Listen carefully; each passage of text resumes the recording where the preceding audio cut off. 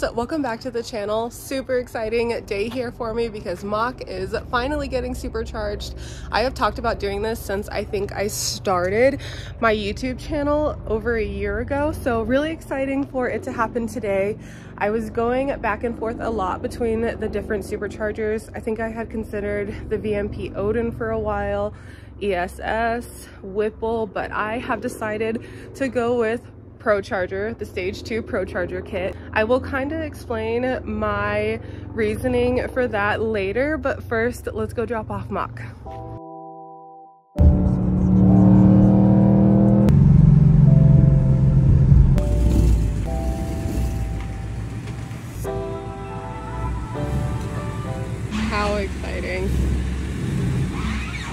Day two and we're back at Peterson Performance. Let's see what they're up to.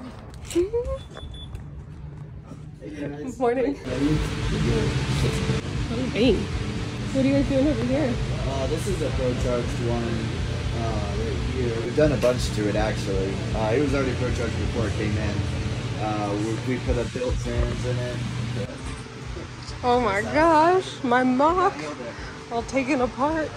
That's crazy. What are you working on next? Uh, pulling this timing cover off. So this whole front plate comes out then? Yeah. Okay. Yeah. The oil pump right here. Okay, that's what you have to switch out? Yeah, Jeez. so taking that and then there's little gears inside. So we're just swapping those out. Just so that it can support? Yeah, because I guess the stock ones are like super brittle. Mm -hmm. Pretty sure you've been building cars like your whole life, right? Yeah. Jimmy and I actually went to school together. Is it important that we upgrade these? Yeah. So these are, are billet and they're super strong.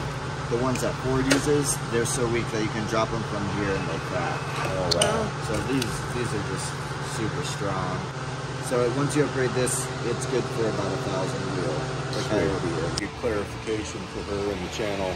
We, we don't really care about the number. Number, yeah, yeah, yeah, just about feeling. About it might make a tad more than 700, but I think it'll be probably around there. Okay. Well, thanks, guys. Oh, yeah, uh, thank tell you. Brad I'll, t I'll take the time machine when you guys get your new one. Thanks yeah. for having us.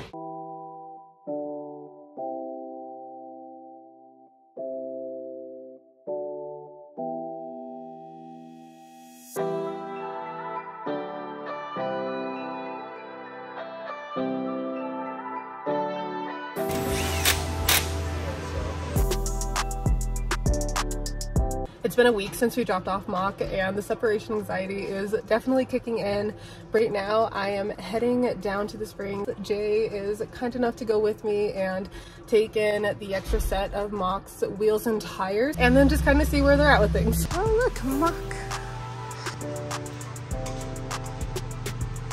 Right now the guys are just working on putting Mach back together. They have the supercharger installed and then they will be starting like the test and tuning. We also talked about possibly dynoing Mach, which I have never dynoed a car before, so that would be cool, but we'll see what happens.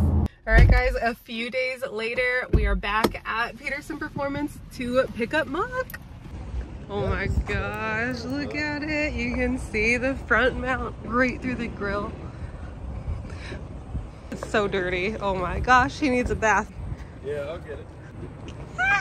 Take it for a spin and let me know what you think. Yeah. Or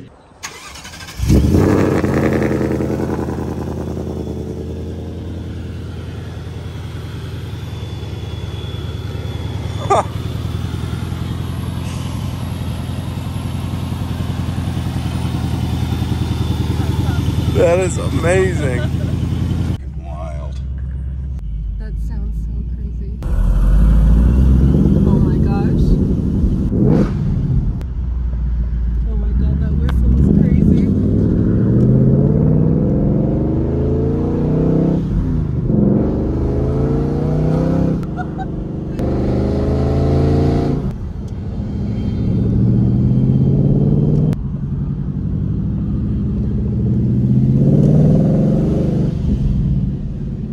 so many whistle things.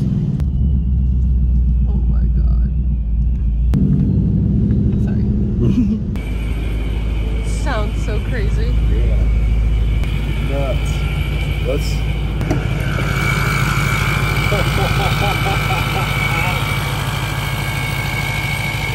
so Oh my gosh. And the blow off valve is down here, right? yeah, it's in here. You can't see it. Yeah. Good lord. Crickets. Only not really. Injectors we got in there. The ID 1000s are in there. I think it's 1050s actually. It sounds so freaking cool.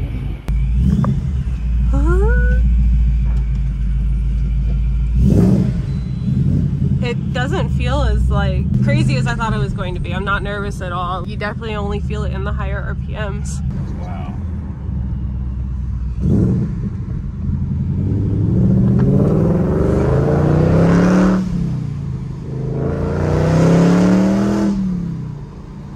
Yeah, it's nice how it builds power. Oh geez. It's so cool. There's no braking period. Oh, okay. Oh, sick. Nice. And we're keeping those on so she can just melt them and. That's what she said. Yeah. Back just doing burnout. What the hell is a Shelby GTS? Come on, maybe you can ask them. What's a Shelby GTS? That is, we build it for this rental company, Uh-huh. and Oh, sixth. yeah. six. Okay. And there's only like seven of them, but it comes it's like a super snake. They Oh, use okay. a different. They use a different supercharger on it. And then uh, they give you three sets for oil changes. Be the one doing it whenever. Yeah. Let us know. Okay. Great. Thank you. Yeah, no problem. I'm so excited. Thank you. Oh, sorry. Yeah, we're all flustered. we are, yeah. I hear ya. Enjoy it. Thank you. Quick little two weeks, 700 horsepower.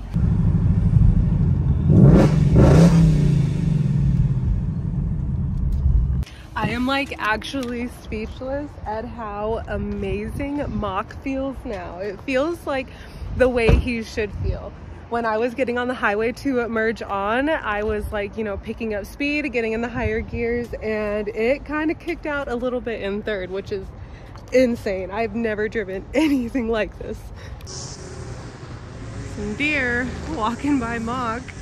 It's so awesome having Mach home and to be supercharged. It actually feels exactly how I feel like the car is prepared and ready to be as far as like power. So I'm just so happy that I do finally have my Mach 1 supercharged. I have talked about it since I started this channel and it just feels good for me to, you know, knock that goal out and it to be everything and more than I could have hoped for it to be. So I did go with the Stage 2 Pro Charger Centrifugal Supercharger Kit, which I've heard is one of the easier ones to install. Um, I would have loved to do the install here. Brandon has done a couple of Pro Charger installs on a Mustang before, which would have been really cool to learn but I think we've just been so busy these past couple of months and since we aren't really set up here in this garage, it was just easier to bring it into Peterson Performance and have them do it. They're actually one of the few Pro Charger like certified installers in the area. Um, they also are probably one of the top rated Mustang performance shops in Colorado. We've been going to them for about a year. They helped us a lot with trying to figure out our alignment issues on the Hellcat. So it was pretty much a no-brainer to go to them to have them do the Pro Charger install. They were super knowledgeable about all the parts that I needed and what I was looking for. They also were nice enough to let me swing by the shop throughout the week, check in to see how things were going. They got some cool drone shots for me. So a huge thank you to Peterson Performance. So from the start, I kind of knew I wanted to go with a centrifugal style supercharger kit and not so much root style, kind of like what the Hellcat had. Like I wanted to keep it more as a street car. I wanted to be able to daily drive it and then just have like that access to mass amounts of power. I just stopped recording. Um, so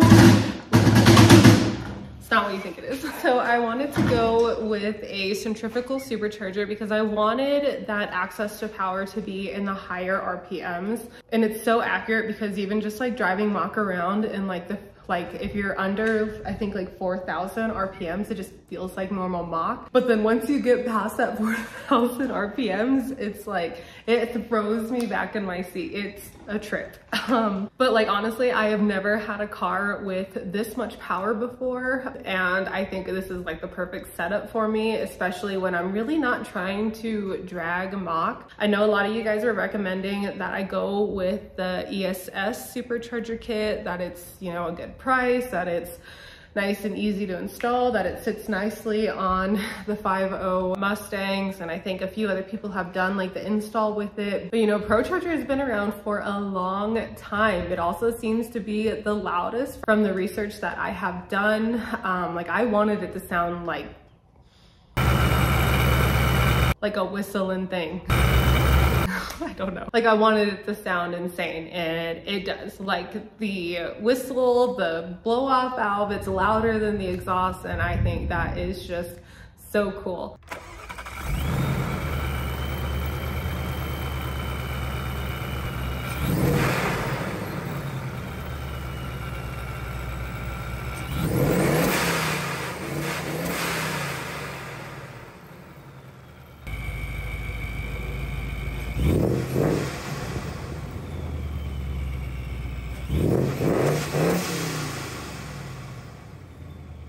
But I also like the look of the Pro Charger kit. I like that if I were to pop the hood, there's just ProCharger branding everywhere. But it's really nice. It really does have that like perfect balance of it still being a street car, still being like nice and easy to drive around, but also will shit on you. So the stock wheel and tire setup is still on and it's killing me but I am going to be working on burning through the set of tires just that way I can get used to, to doing burnouts, maybe trying to get it slide a little bit and then the RTRs will go back on, but let's go for a drive.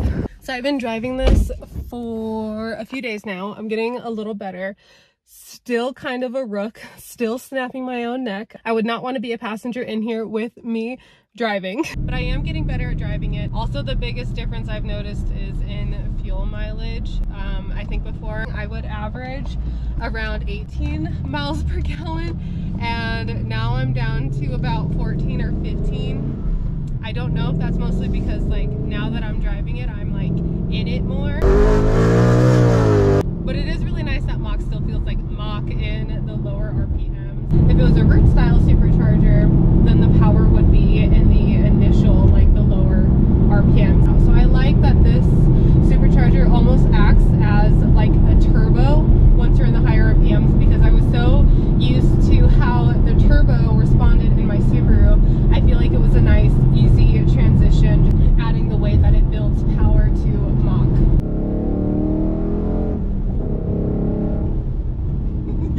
So I am getting better at driving, figuring it out, having a ton of fun with um, doing like some burnouts and stuff. It's super easy, but it's really smooth. I think my confidence with it is a lot higher, which is really nice. I'm excited to start learning to slide the car, maybe start getting into drifting soon. I almost am already to the point where I want to add just a little bit more power, but luckily that is really easy to do. So I kind of tuned it for the headers and the ProCharger at the same time and they went with Rob Shoemaker, the tune maker.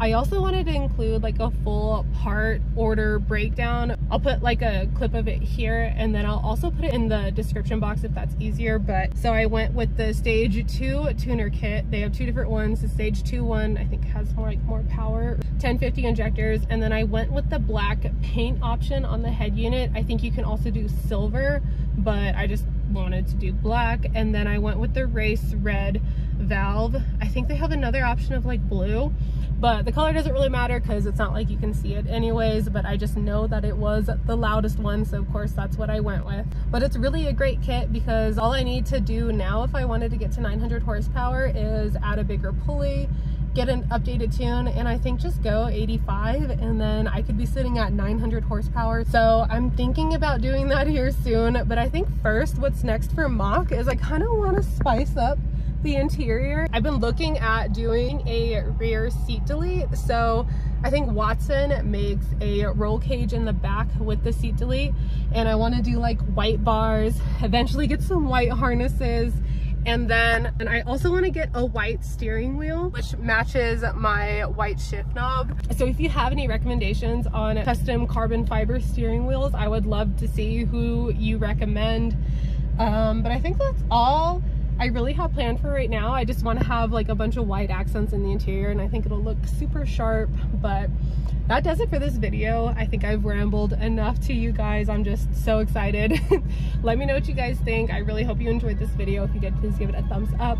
Also consider subscribing and I will see you guys next time.